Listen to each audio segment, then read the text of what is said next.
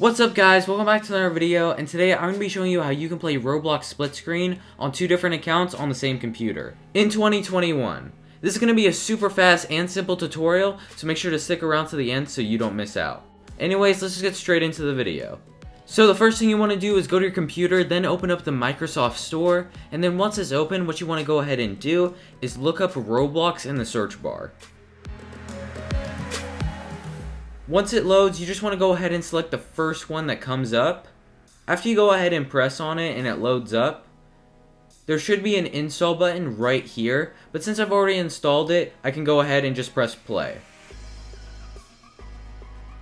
After you do that, it will open up this Roblox launcher, and just go ahead and log into your alt account or sign up for a new one.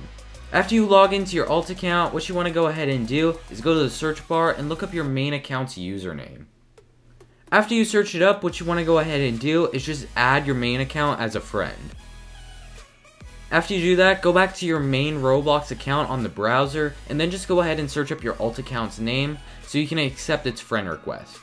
After you accept it, what you want to go ahead and do is just go ahead and join any game you want. It doesn't really matter. Once you're in the game on your main account, just go back to the other launcher and then join your main account's game. And once you do that, just wait to join your main account's game. Once you're in, you can go ahead and resize the Roblox games to make them split screen. It's really simple, just go ahead and make it half and half.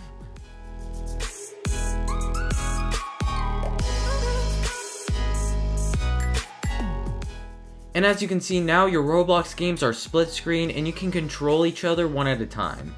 And now you can grind on your alt account with your main account or do whatever you want in the games that you need. So that's how you can play Roblox split screen on two different accounts on the same device. I really hope this video helped you out, and if it did, hit that like button, and make sure to subscribe if you drink water. We're trying to get to 100k this year, and I'm actually kind of curious to see how many people actually do drink water. But anyways, I love you all, and I'll catch you in the next one.